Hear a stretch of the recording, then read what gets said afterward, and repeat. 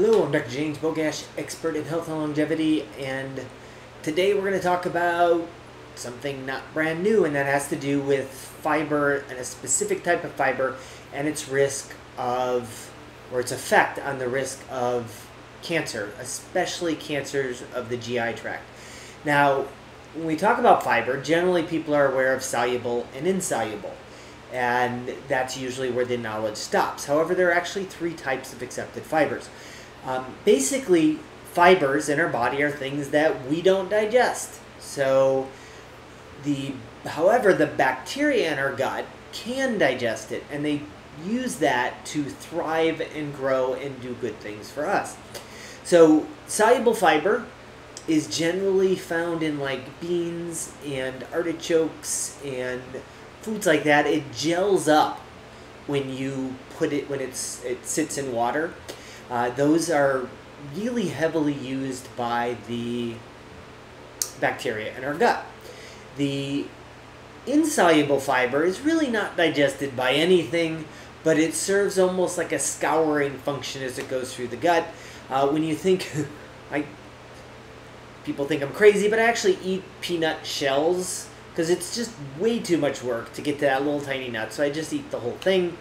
Uh, not only am I probably getting unusual bacteria, but that's that's fiber that nothing's going to digest, but that acts as a kind of a cleansing, scouring motion as it goes through. Resistant starch is another type of starch that is formed. Uh, it, it's naturally occurring in certain foods like green bananas or plantains. It's also found in beans and lentils, usually less processed beans and lentils, but also with certain carbohydrates when you cook them and then cool them. So think something like sticky rice or potatoes that are cooked and cooled. When they when they re when they cool, they form different bonds. These farm, bonds are generally considered resistant starch. Uh, it's also available as a supplement, but I'm generally a food type person as far as how we should get different fibers or prebiotics. The so Lynch syndrome is a condition of when families have really high risk of certain cancers, especially the GI tract and, and colorectal cancer. It's termed Lynch syndrome.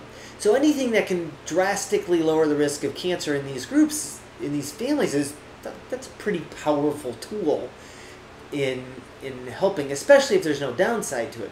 So this was a study on 937 people with Lynch syndrome, and they gave them either placebo or resistant starch for four years, but they followed them for up to 20. So we're talking about four years of an intervention, basically taking 30 grams of resistant starch per day, and followed them for up to 20 years. Like that's a huge length of time. And they found that for overall, uh, it did not have an effect on colorectal cancer. It did have an effect on non-colorectal cancer, uh, a 46% lower risk of any other type of cancer other than colorectal. And for GI, so think upper GI, so like stomach, esophagus, small intestine, it's pretty impressive 43% reduction in those types of cancers. Um, the numbers were small. There were five in the, the placebo group, and I'm sorry, 21 in the placebo and five in the in the um, group taking resistant starch. That's still a pretty huge change in um, for a short-term intervention. A uh, couple thoughts with this is that largely probably has a role in uh, in changing the gut bacteria and how they and the protective compounds that they produce. But there's also some people that think that certain starches actually bind up bile acids. And bile acids are generally, if they're not doing anything and they're just in our, can be an irritant and can increase the risk of cancer. Little tidbit that they don't tell you when they pull your gallbladder out. I have had multiple people have had gallbladder surgery. Nobody ever tells them that it increases the risk of colorectal cancer.